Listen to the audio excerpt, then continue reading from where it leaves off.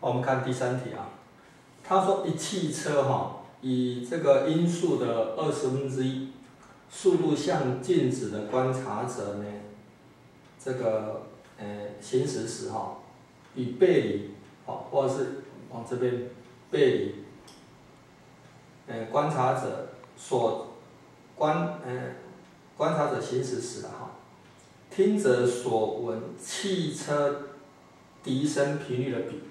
哦，就是说汽车往这边走的时候，它听到频率会比较高啊。往这边走的时候，听到频率比较低。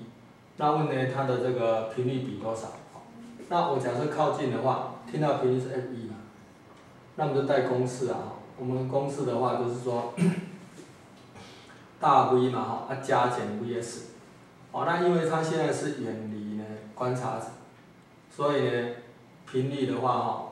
呃，它的效应呢是增高，增高的话，所以这里哈应该要用减的 Vs，而这里是 V，啊本来加 Vs 嘛，哎 Vo，Vo 就是观察者的速度，那观察速度等于零，所以就这样子，这是等于 F 等于零，哦 Fs 啦，哦波源的它的这个频率，啊同样道理呢，如果波源哈是远离它的时候，它听到频率变小，这里就变加的，所以 F 二。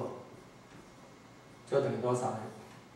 大 V 加 Vs 除以大 V 嗯 Vs，Fs。好，那这样的比是多少？他问他问比啊哈。哦，所闻那个气离频率的比，那一比多少？一比比下来的话，就 F 一比上 F 二。这个通通可以消掉，这个都消掉。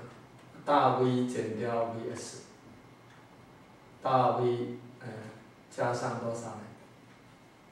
嗯，不对，这样一比的话，这个上去，这应该是加，那这个应该是减，减掉 Vs，哦，那这比是多少呢？那我上下把它除以大 V，就一加 Vs 除以大 V，一减 Vs 呢除以大 V。那一加 Vs，这个是二十分之一啊，好，Vs 除以大 V 是二十分之一，所以上面是一加二十分之一是二十分之二十一，它这是一减掉二十分之一，所以是二十分之十九，所以是二十一比上十九，好，所以就得到哈，F 一比上 F 二。等于二十一比上十九。